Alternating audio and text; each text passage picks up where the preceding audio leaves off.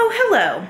So today we are doing my mid-month check-in, but the plot twist is I don't have time to really do much of any editing to this. Like I can do a couple of snips here and there. So this is basically going to be a live mid-month check-in because just for timing reasons, I will not have time to edit this. But I just realized I wanted, I woke up this morning, I threw on some lip gloss, I put on some earrings, and we're just gonna talk real quick because I realized that I hadn't planned on doing a mid-month check-in this month, but I just like them and I felt like I wanted to do it. So I also wanted to check in because reading has not been great this month, guys. so I kind of wanted to warn you for whenever we get to the end of the month.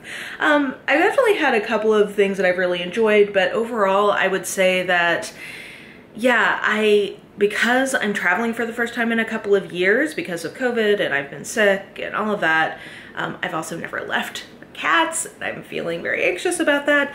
I have just been like stressed with that, which is not good because it's vacation, so it's, it's supposed to be fun.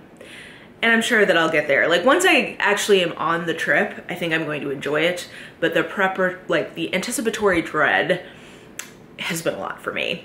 And then also work has just been pretty stressful. So with all that combined, I have been just too stressed to read as much as I normally do. Now I have actually gotten through a good, um, I guess that with that in mind, I've gotten through a good amount of stuff, but most of what I've read has been really short and very easy to read. So that's the other reason why I was like, oh, I won't do a mid-month check-in because I don't feel like I have enough to check in with you about, but I figured I would just go ahead and tell you what I have been able to read and what I'm thinking about reading next. So one thing that I'm going to talk about at the end of the month and has been the biggest thing I've read is The Golden Fool by Robin Hobb, which is now my second favorite book in the realm of the Elderlings overall series. I love this. It's so good. It's definitely my favorite Fitz book and I'll talk about it more at the end of the month, but suffice it to say, we, me and Leanna have been doing like an every other month kind of schedule. And when I finally finished this, I was like, hey, would you be open to when I get back from my trip, us going ahead and reading the next one? And she was like, oh, thank God, yes. Because um, I really want to see what happens in the finale of the trilogy. Um, so yeah, I'm excited to keep going and I'll talk more detailed about why I love this book at the end of the month. The other big thing that I managed to get through was um, the first half of Sources of the Self, which uh, me and my friend Kim did a book club, a live book club on, and I thought that was a really fun conversation. I enjoyed those of you who were able to join for the live chat, and it's kind of niche. I know that this is not going to be a video or a series for everyone, but I enjoyed it, and I hope those of you who read the book enjoyed the conversation. Um, we didn't get through any of the history stuff this time, which actually I think worked out pretty well. That hadn't been the plan. The plan had been to cover the first 15 chapters. We ended up covering the first four. So I think sometime in August we'll start tackling the history. We'll see how far we get. Um, and at that point I'll probably get an opportunity to start roasting Plato to my heart's content. So I'll, I will look forward to that. But yeah, so this, I definitely took some time for me to read, process, etc. This, um, so that was another big thing I read. Um, in terms of shorter things that I've read and enjoyed, uh, let's see here. Well, I could probably grab my computer and actually look up what all I read. I know that I have been reading that fantasy series from Kimberly Lemming, I think is her name. Is that her name? Yeah. Uh, the That Time I Got Drunk and series. So the first one was That Time I Got Drunk and Accidentally Saved a Demon. That time, The second one is That Time I Got drunk, drunk and Yeeted a Love Potion at a Werewolf. And then there was also a little novella called Mistlefoe. Or not even a novella, it was like a short story. And I just think that these are so fun. They're so charming. Their writing is definitely not like the highest quality, um, just in terms of being, I guess, more like traditional writing, but I don't care because it's very charming and I feel like it works with the vibe of the story, which is, I would say, it's epic or high fantasy in the sense that it's definitely not our world, but it's not taking itself too seriously. It's not meant to have super deep world building. It's meant to be a lot of vibes, which I honestly kind of love in in fantasy romance in particular, um, but just generally, I'm okay with there not being super detailed world building as long as sort of the set pieces of the world are interesting. And this one I think definitely is. I really like our characters. And the first one, the here, so they're all called demons, but they're different kinds of creatures. so the first one, it's really, he's like a dragon shifter, but he gets called a demon. Uh, the second one, there's a werewolf. And then the novella I read, um, there's a fox shifter guy. And I don't know, they're just super fun, charming, uh, just lighthearted, but also there's like adventure. There's definitely some sexy times. I'll tell you, in the one with the werewolf, there like there's some tentacle play showed up that I was not expecting. I'm not even gonna say I wanted it, but um, it was there and it definitely, you know, spiced things up, let's say. So uh, that I definitely, I guess I could have counted those as a surprise because I don't think I was expecting to like those as much as I did, but I definitely did. And uh, yeah, so I read those. I just realized that part of why I don't have as much to tell you about is because I read three books for a secret vlog that will be going up in a like a week and a half-ish, I think. So there'll be three books in there for you guys to hear about. What else did I read? I read, oh, Daisy's Decision. That was really good from Ruby Dixon, but I'm to talk about that at the end of the month as a surprise. Um, oh, I read Stuck With You from Ali Hazelwood, which I will say is my least favorite of the three Ali, or three, four, four Ali Hazelwoods I've now read, but I still gave it th three and a half. I still enjoyed it. The only reason is, is that it's a miscommunication trope, which is just like not always my favorite. But I did think it was smart. In this case, she introduced a dual timeline that was intercutting. And I think that that helped the miscommunication not feel as frustrating because you get to see the miscommunication alongside them first meeting. Um, so I actually liked that. And I liked that once they actually got in the same room, or in this case, the same elevator that they're stuck in, um, very quickly miscommunication was resolved. But the way that the tension was built throughout uh, I thought that was smart. Rather than like having them be together for half the book, like they're meet cute, then have like, oh, I hate you for three weeks, and then have a scene where they're stuck together and the issue that they had for three weeks got resolved almost immediately, I think that would have felt a little anticlimactic. But I think by intercutting it, it kind of helped the tension build without me being frustrated that they weren't just talking. Um, I, my main critique of this is I think that it just was too slow getting started considering it's a novella. Like I think it took a little too long to make that happen. So yeah, that was my feeling on that one, but I did still really enjoy it and she I think continues to cement herself as a favorite, a new favorite author. Um, yeah, oh, okay, Broken Wish by Julie C. Dao was one I read and can talk to you about.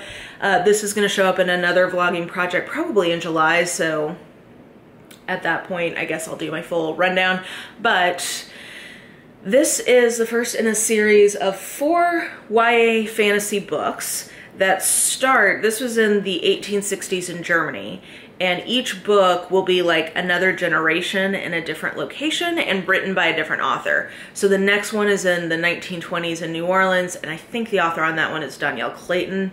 This one is by Julie C. Dao, and I will say, I give this three and a half because it kind of went there with the ending in a way I did not expect. And that bumped it from a three to a three and a half. But this is a great example of a book that I'm giving a three, three and a half to that you might think like, oh, you didn't like it that much. This did exactly what I wanted it to do for the kind of book it is.